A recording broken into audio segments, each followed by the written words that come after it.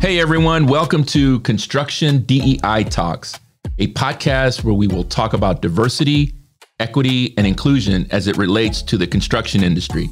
My name is Jorge Quesada, and I am the Vice President of Inclusive Diversity at Granite Construction. And joining me as co hosts are Stephanie Roldan, Director of Lean Culture at Rosendin, and Abby Combs, Inclusive Diversity Partner at Granite Construction. On each episode, we're going to open up the floor for conversations with subject matter experts about how we can make the industry a more diverse and inclusive place for everyone and make our industry stronger.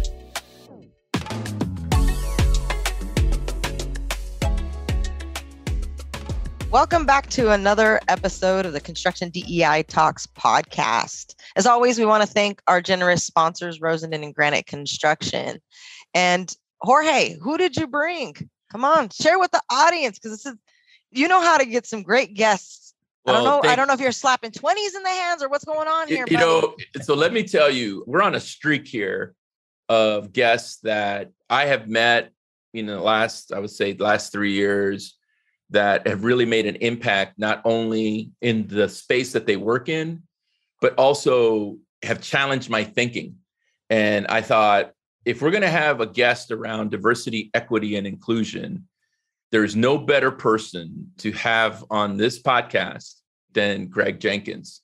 And I'll tell you why. First of all, he's a dedicated and passionate consultant, DEI consultant, practitioner, and lifelong learner. 28 plus years in the US Army. And I want to make sure that we give this man his flowers, right, for his dedication, and for his service because 28 years, it's amazing. And it's ranged from overseas duties in Germany, South Korea. He's had combat duty in Iraq, and he's had some, you know, stateside assignments. And probably it culminates in him being in Washington, D.C. and serving in uniform, leading the military equal opportunity efforts. That then led Greg to get into his selection to the Army's diversity task force at the Pentagon, which helped establish the Army's inaugural diversity program policies and products that they, they gave. So when you hear about the military being probably one of the most diverse places, you know, Greg was right there, right? He created that lab, he created the, all the language that was important. He has impacted 1.4 million soldiers, civilians, and their families in all of this work. And as a leader and facilitator, Greg is providing training, facilitation, and oversight over tens of thousands of people that have attended his training around DEI. Where I've got to know him is through an organization, the Inclusion Allies Coalition. So he served in various nonprofits and organizations and leadership positions. Greg, welcome to the podcast. Thank you so much, Jorge. And your kind and generous words are, are way too much. I'm, I'm very humbled. Thank you so much for having me on.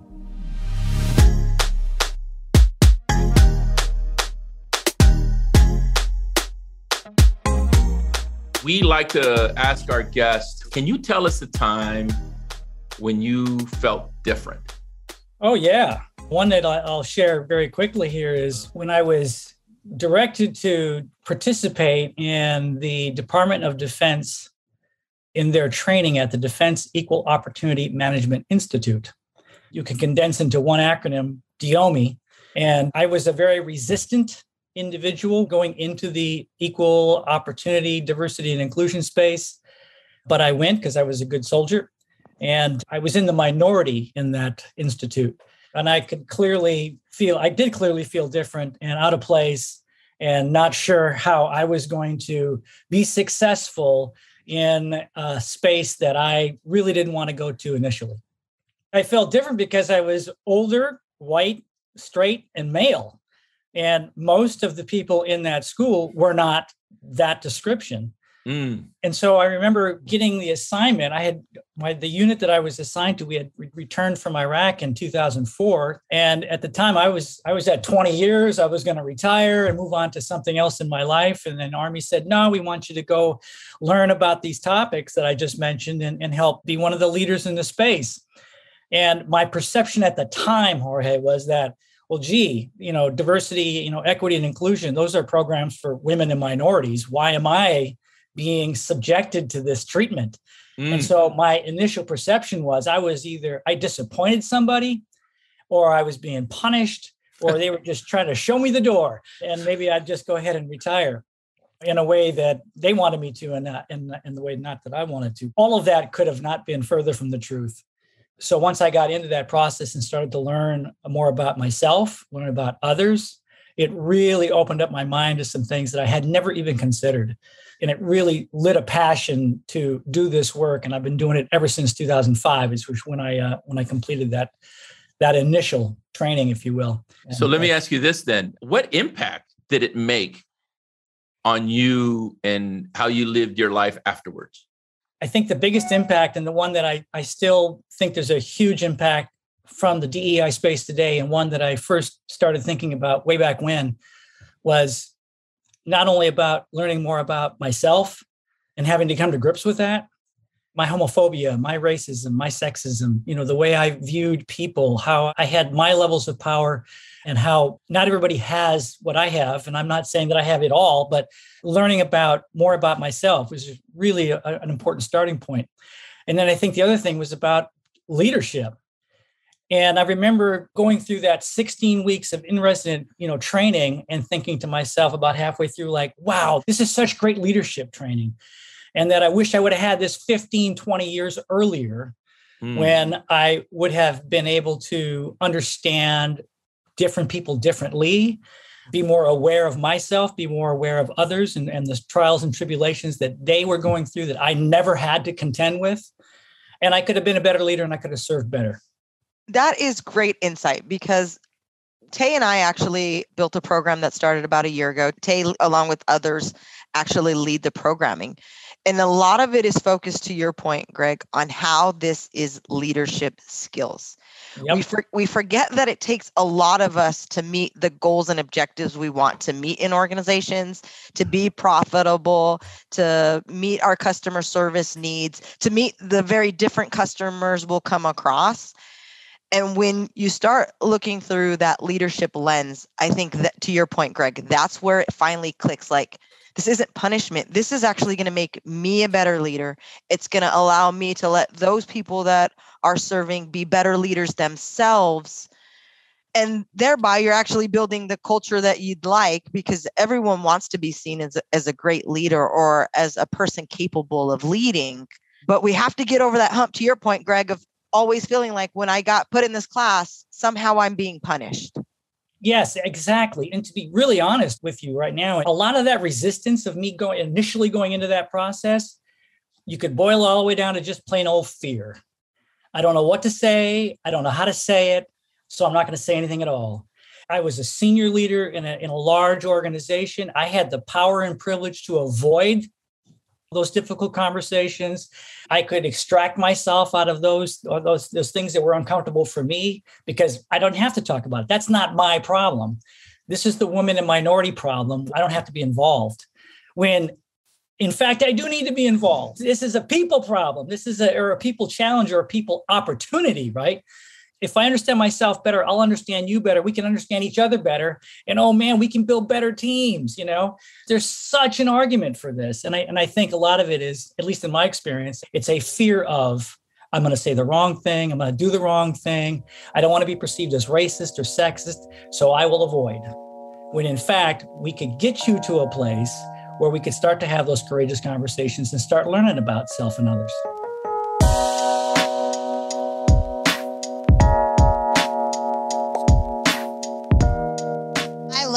Greg, how one of the first things you came out the gate with was you had to check your own biases first. You were like, well, now I don't want to be perceived as this, and I have to check my sexism and my racism and my and I was like, yes, because I think another thing a lot of people think that diversity is everyone's going to point out all the things that are wrong with you when if you sit down and have a conversation you might check yourself mm-hmm. so what is one of the the key things you would tell someone going into that kind of space on how to best check themselves i think the absolute first thing is we should acknowledge the fact that we are biased period and very often the perception that i discover is well i don't want to i don't want to admit i have a bias because bias means bad I'm here to tell you, folks, bias is. We are creatures and we have bias. It's hardwired into us. Studies abound. There's even studies that show children as young as six months old preferring the faces of their own kind of face, like white babies preferring the faces of white adults, black babies preferring the faces of black adults. And it's not to suggest in any way, shape, or form that a six month infant could possibly be racist.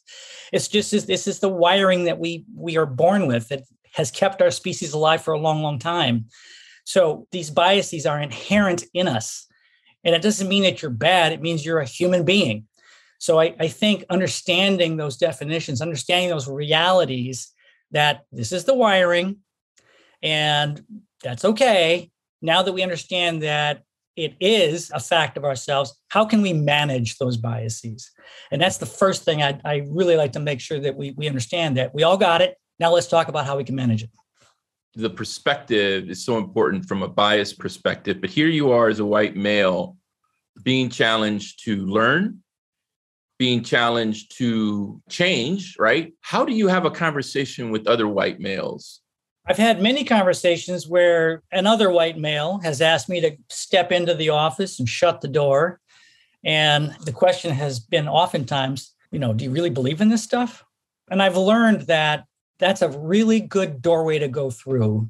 Mm. because they, they really want they want to know why are you doing this work now greg? Mm-hmm. i'm a little mm-hmm. confused because you don't look the part right? And so i always invite those as really good really good and i'll use the term again doorways of, of getting in the conversation to go a little bit deeper. And my response is well yes i do. I think these are facts of life. We are diverse. I mean period. Full stop. We can choose to be inclusive or exclusive to our detriment or benefit. And let's hear more about what your thoughts are, other mm-hmm. white man who is asking me this question about why I'm in this space. Because yep. I don't want to attack that person. I want to hear what their per- their perception is. Because very often I am talking to the person who I was a formal self of. Does that make sense? Mm-hmm because I can, I can kind of relate to that guy because I kind of felt the same way in a lot of respects. Maybe that, in a way, is an advantage that I, I want to use for good, courageous conversations. When was the epiphany that your voice was important in this conversation of DEI? I don't know if it was if it was one single event. I think it was just a, and a continual on ramp of discovery that everybody's voice is important and I remember it was a bumper sticker I saw years ago. Speak up even if your voice shakes. And that's of course that's about, you know, you gotta gotta be courageous and say some things sometimes, you know. I think it's a realization as of coming out of 28 years in the United States Army, 25 of those I was in a leadership position. So I was in charge of other human beings. And so inherently I knew that a leader's words and actions carried tremendous levels of weight. I knew that intuitively going into DEI. I, if I promote diversity, equity, and inclusion, and then my behaviors are absolutely counter to what I just said. I mean, I think my favorite thing that you said was how you would be invited into a office by another white male yep. who's like do you really believe this and I, I feel like that might have been one of the most impactful things that you're you're doing because again, most of them feel that this work should be done by women or people of color or, right. or, a diverse group. And you are a white male out here doing the work that has helped you grow and, and benefit, and you're trying to mm-hmm. help others grow and benefit. Who, again, if I walk into the room preaching this, they might be too afraid to even approach me. Mm-hmm. Because of again biases or fear, but you are just like them. So you're my favorite kind of person because you're in there, and I can be like, oh well why don't you go talk go talk to greg. Greg, greg will fill you in and do you feel like just like you kind of said that that's one of the biggest hurdle slash achievements you have is being able to reach your literal demographic?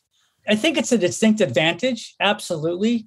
I mean we all have affiliation bias. People like people like themselves that's just who we are. You know, we could say, you know, that's that's skin color or or religion or language or culture or whatever. We could put we could fill in those blanks.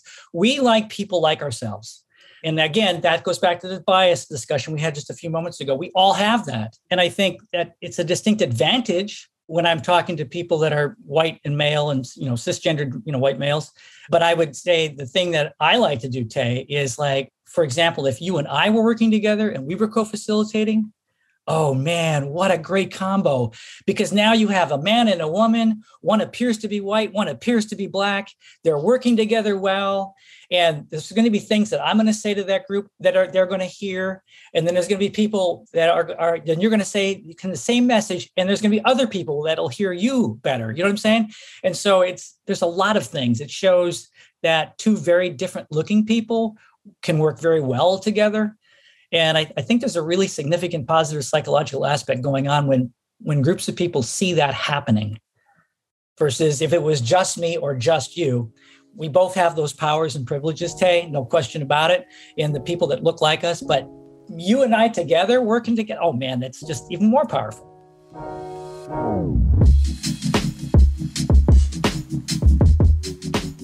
Greg, why would the construction industry benefit, or how can the construction benefit from a DEI, diversity, equity, inclusion practice? Well, I was in the construction industry right after high school. I was a general contractor, so I have a little bit of experience in that space. I think there's a number of reasons. I think there's there's a heart conversation, you know, your heart in your chest, there's a heart conversation and there's a head conversation. And I think if we just talked about the head conversation or the, or the argument, you know, from a business standpoint, I think there's a couple of important things to take a look at. So we could look at internally within the organization. What well, what does the workforce look like? Do you have enough people? You have, you have a turnover issue? Are you growing and need to hire more people, more talent? What does that look like? And where are you finding talent? Where do you attract and recruit from? Are there populations of people that you don't pursue or try to attract because of, for whatever reason, maybe you don't know anybody from those places? Maybe you're uncomfortable trying to recruit from groups of people that don't look like you. So I think from an internal standpoint, there can be great advantages if we're trying to build the internal organization, its culture, being more inclusive, more effective, so on and so forth. From an external standpoint, we're talking about your environment, your marketplace. Where do you do business? Who do you do business with? Who are your customers? Who are your clients? Who are your stakeholders? Who are your vendors? What does that constellation look like? Are you trying to grow in the marketplace? Who do you sell to now? Who would you like to invite in? You know, who do you want to build more things for? And I, so I, I, think there's a, there's a there's a big argument there. If you just looked at demographics in the U.S., take a look at the most recent U.S. Census report. It came out in August of, of 2021. We have always been a shifting, changing demographic, and that has not slowed down at all if you just look at two stats, and one of them is in 2010, 9 million Americans self identified as two or more races in the census in 2010. That increased 276% in 10 years from 9 million to 33.8 million people who self identify as two or more races. So we are deciding who we want to be with, who we want to make children with, marry, all those kinds of things that's making a difference. If I'm a business and I'm not paying attention to that, I may not have a message that resonates as well if I continue to use the same messaging to one homogeneous group of people. Here's the second stat. In 2016, this is US Census Bureau data as well. In 2016, there were 26 states where the white death rates were higher than the white birth rates. So you have a shrinking population of, of white Americans and a growing population of everybody else, all people of color, two or more races, all those kinds of things. And this is not nefarious or there's not some evil plan. It's just biology occurring. You're going to go to a certain age, and then you know the oldest people in, in, in the society will, will pass away. It happens everywhere. But I think going back to your question about the construction industry, if you want to be in business for a bunch more decades, I think you got to kind of take a step back and say, what's happening to the marketplace? What's happening to the society in which we want to serve and sell our goods and services to? So, pretty good argument, I would think. So, Jorge, I had a question, and I think he actually gave some of the data that was surrounding what my question was, which mm-hmm. is is in our industry, we're spending time talking about diversity, equity, and inclusion. Mm-hmm. I think truthfully, the focus really needs to be, and Jorge and I have said this on this inclusion and belonging piece, because the truth is the diversity is going to happen without us. And exactly. it's, it's, it's happening right now in this minute in the way that Gen Z is the most diverse generation that ever existed, and they're soon going to be joining, or some of them actually have already joined the workforce. Mm-hmm. And so as they start adding, and you know, m- millennials are now becoming sort of the the larger group of who's managing the workplace. Mm-hmm. You bring in Z, it's not really whether or not you want to do it it's whether or not you're prepared for the generations that are are coming because you have no choice to your point if you want to be a business and you've been here 100 years and you want to be here 100 years more Right. Who comes through that front door will be very different than who led the the first hundred years. Absolutely, Stephanie. And we were just talking about race. We're not talking about gender, sexual orientation, religious preference, national origin. I mean, you know, you can overlay a whole bunch of different characteristics that we was using one was just on on race. So when you start being more understanding of all those other differences, there are people in every population that want to be construction workers men, women, white, black, brown, Asian, Native American, multiracial, biracial. And they're already in it, and there's going to be more. Why would we not want to take a step back and go, well, gee, we're doing okay, maybe, but what's 5, 10, 20, 30 years down the road going to look like? How are we going to be competitive?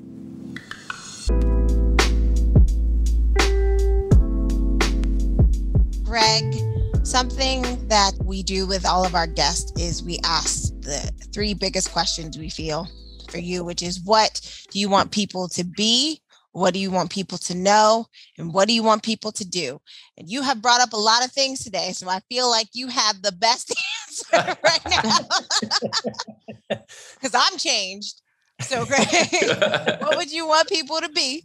What would you want people to know? And what do you want people to do when it comes to the DE and I space? Oh, Tay, I love your question, and I'm so glad it, it rings of my army experience because that was a be know do thing in the in the army as well. So, Be, I want people to be more inclusive. Know, I want people to know more about themselves. Take some time to do some discovery. You'll enjoy it. I think you will. There, there may be some difficulties there, but know more about yourself. And the last one is I want you to do more of setting the example of inclusion, of respect, and dignity for everybody.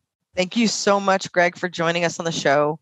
We greatly appreciate you coming on, dropping some wisdom on us, getting us all to think a little bit differently. Uh, with that, we're going to close by thanking both Granite Construction and Rosendin for generously supporting our efforts to get the DEI discussion out into the construction industry and the world as a whole. Be inclusive. Thanks for joining us for today's episode of Construction DEI Talks, and we hope you'll join us for our next episode. If you'd like to learn more about how you can make the construction industry a better place to work, please visit our website or reach out to us on Twitter, LinkedIn, or Instagram. There you will find more information on the latest developments in diversity, equity, and inclusion. You can find our webpage and email address and links to social media in the show notes. We'd love to hear from you. So be sure to subscribe to the podcast so you don't miss any future episodes. We'll catch you next time on Construction DEI Talks.